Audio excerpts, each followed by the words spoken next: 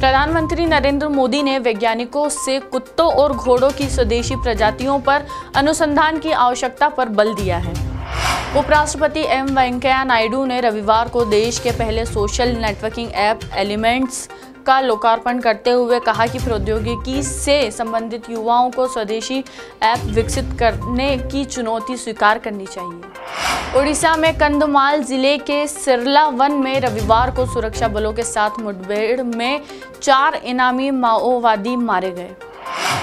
उपराष्ट्रपति एम वेंकैया नायडू ने गुरु पूर्णिमा के अवसर पर देशवासियों को शुभकामनाएँ देते हुए कहा कि गुरुजनों की शिक्षा संस्कारों को देश हित में सार्थक बनाया जाना चाहिए।